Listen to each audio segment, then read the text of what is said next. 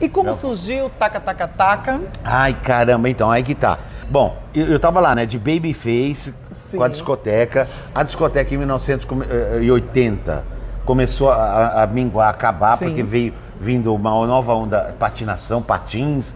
A Hollywood fez Xanadu com Olivia Newton-John e Electric Light Orchestra. Mas enfim, a discoteca mesmo acabou, porque acabou o Dancing Days na Globo e a gente com aquele trambolho gigantesco, dívida até o talo, que a gente trazia tudo do bom e do melhor. Dinheiro acabou. Ixi, Maria. Eu, ó, eu tinha uma alfinha Spider conversível que eu andava.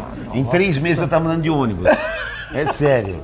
Que, gente, não, não vergonha de dizer. Mas pagamos as dívidas. Mas pa- se livrou. E eu lá de Babyface. Aí, eu lutava na. Eu tava na Copacabana, a Copacabana merecia até um, um filme, sabe por quê? Quando cheguei na Copacabana, olha o casting. Tinha Chitãozinho e Chororó começando. Hum. Começando. Eles tocavam, eles ficavam de violãozinho no corredor da gravadora tocando.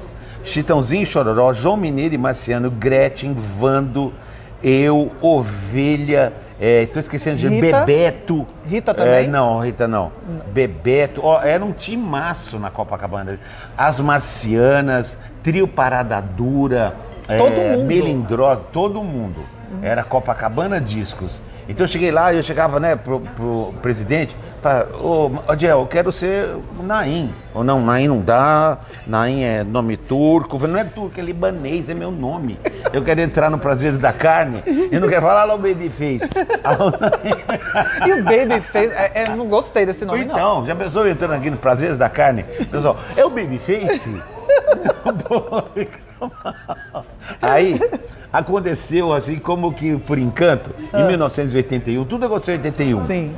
Em 81, a Gretchen ia gravar, já estava estourada com bumbum, foi aquele bum. Ela estava prontinha com o maestro Eduardo Assad, todos os músicos no estúdio, prontinho para gravar, só que ela ficou, não perdeu o voo no Nordeste. Aham. Aí o Mr. Sam me liga e fala assim, aí, Bicho, você tem música pronta? Eu falei, tem duas. Eu falei, então vem que o estúdio tá, tá parado. Aí eu fui e gravei meu primeiro disquinho em português com o nome de Naim, que era a música que eu fiz chamada Calha essa boca. Onde você foi? Ei, sujo desse jeito. Ei, passou. É. Aí o que, que aconteceu? Eu lancei esse disco em 1 de agosto de 81. Aí eu peguei, eu fiz uma jogada sensacional, Ah. Lisa, amigos de casa. Tinha lançado no mundo o Walkman, que era você botava uma Nossa, fitinha cassete eu dentro tinha, eu e, tive, pum, eu e tive, colocava. Tive, eu E tive um vermelho. Então, e eu consegui um. Consegui um Walkman Ah. e coloquei meu, minha- gravei minhas duas musiquinhas num cassete e pedi para gravador, o chefe da, da divulgação, falei, me leva lá na TVS. Ele falou, mas não inaugurou. Eu falei, não, me leva lá, por, tô te pedindo. Que é do Silvio Santos. É, que é TVS. embrião do SBT. Sim. Aí ele me levou, eu falei, ó, você vai me falando quem é quem aí. E foi o que ele fez. Ele falou assim, tá, aquele lá, ó, Vanderlei Villanova, ele vai dirigir Almoço com as Estrelas e Raul Gil. Aí eu fui no Vanderlei, falei, Vanderlei, tudo bem? Ele falou, tudo bem. Eu falei, escuta isso aqui. E eu coloquei no ouvido dele. E plum, ele, muito bom. Até, quem é? Eu falei, sou eu. Tá no Almoço com as Estrelas. Nossa, Tá no você Raul sempre foi ousado assim, né? É. Aí eu, eu fiz isso até que eu cheguei também no, do diretor do Bozo, a mesma coisa. Aí o cara, é bom, tá no Bozo.